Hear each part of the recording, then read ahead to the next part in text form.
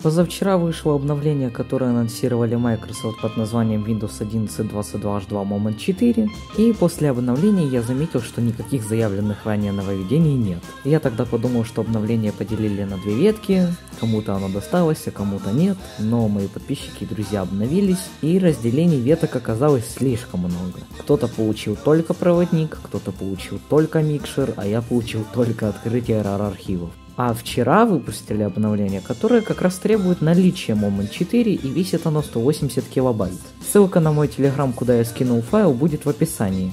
Также ссылку на статью оставлю, где тоже об этом рассказывают, и там тоже можно скачать файл. Этот файл является всего лишь микрообновлением, которое активирует то, что от нас и так скрыли. Но странно, что у некоторых что-то скрыто, у кого-то ничего не скрыто, а у кого-то спрятано абсолютно все. Ставим просто как обычный МСУ пакет, я думаю такую установку вы уже когда-то видели, и теперь просто перезагружаемся. Если у вас будет ошибка, что обновление неприменимо, значит вы не установили самое последнее обновление, а у вас должна быть 2461 версия. У меня появился микшер и разгруппировка приложений на панели задач. И если честно, функция довольно странная, почти в 100% случаях он как как-то смешно или криво обрезает текст, и иногда просто буква не влезает. Новый копилот, новый проводник или код главное у меня не появились, так что это остается рулеткой удачи. На этом у меня все. Спасибо за просмотр, ставьте лайки, подписывайтесь на канал. Желаю всем удачи и всем пока.